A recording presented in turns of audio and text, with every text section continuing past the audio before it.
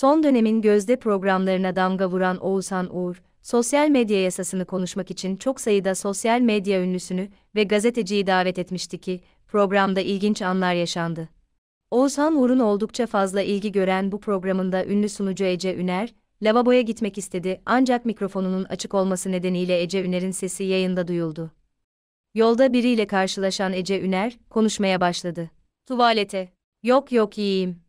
Çok iyiyim, sözleri mikrofonun fark edilip erken kapatılmasına ön ayak oldu. Uğur Dündar'ın konuşması sırasında duyulan ses ardından duruma müdahale eden Oğuzhan Uğur'un, arkadaşlar mikrofonu kapatır mısınız?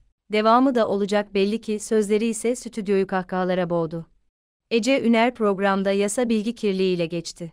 Almanya Avrupa örnekleri verdiler ancak Venedik Komisyonu kararları ortada öyle bir şey yok.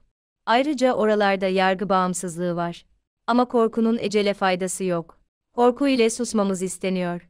Biz burada konuşarak korku prangalarından kurtulduğumuzu ortaya koymak istedik. Hepimizin bir haysiyet ve onur noktası var. AK Parti iktidara geldiğinde hakkın sesi halkın sesi diye geldi. Şimdi halkın sesini kısmaya çalışıyor. Ülkenin kurumlarına kudret veren tek şey halkın desteğidir. Bu düzenleme halkın egemenliğinin gaspıdır. Bu olmazsa hiç kimse ayakta kalamaz.